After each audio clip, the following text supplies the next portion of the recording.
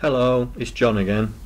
In this small video I'm going to explain what assembly variables and labels are about.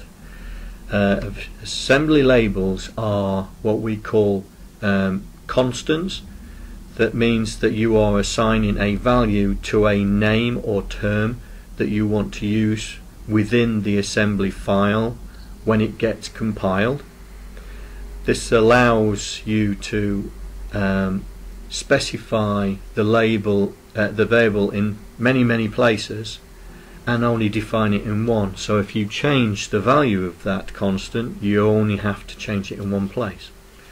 Now a label is a different type of data storage um, unit for within the assembler.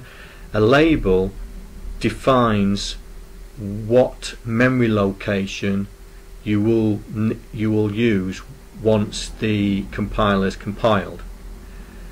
You can set uh, three different types of labels. You can set global labels, you can set local labels, and you can set um, temporary labels. Now, a global label is a label that will be used across all the assembly files within the project and they will be listed under the globals tab. A local label is a label that is used within the file that you are currently compiling and a temporary label is a, a label that is thrown away outside of the, the code block that you are using it in and what defines a code block is I'll explain later. So, for example, I've got a small assembly language program here. We set, we tell the assembler where we would like to start assembling to. So, this is a label in its own right, uh, uh, uh, sorry, a variable in its own right. And if we look at variables, you'll see that it's, it's listed there. I've got a local variable called screen start location and I have got four local variables of different types. So we have a binary type and a binary type is always preceded by the percent and then 8 or 16 zeros and ones. Um, hex is always preceded by the dollar.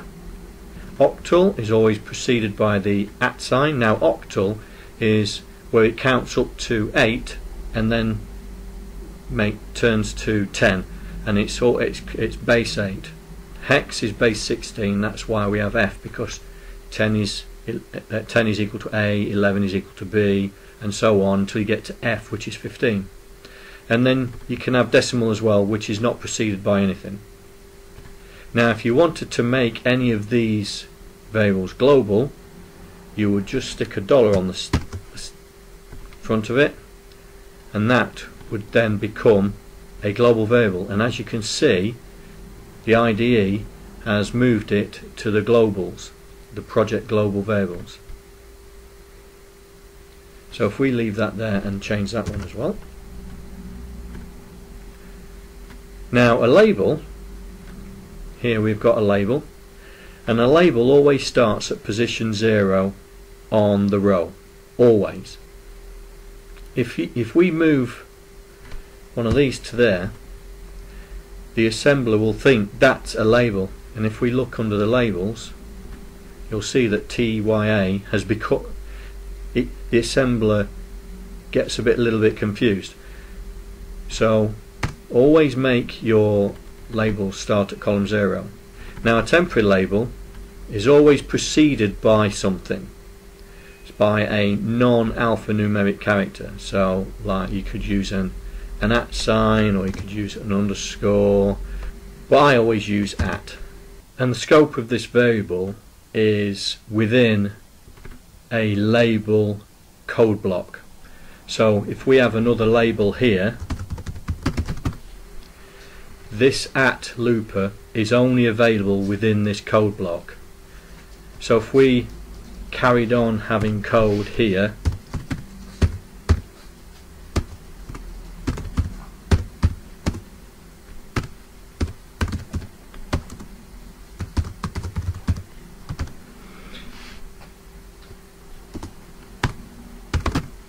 the assembler would not find that at looper because it's not within this code block here. Because the uh, local uh, labels are only contained within a permanent label or sorry a, a temporary label is only um, found within the confine block of two local variables or two global variables. So this line would not see that label. If you wanted to use that label you would have to take the at sign away from it. The beauty of this is you can re you can recycle labels within code blocks and you're not having to constantly think new new names. Yep. So that's variables and labels uh, within a um, an assembly assembly program this program just basically puts the character 0 to 255 on the screen. So if we run this now just to show you that it works works the top half of the screen will have just the uh, the normal characters. There you go. So it's from 0 to 255 right. I will see you on the next video. Thank you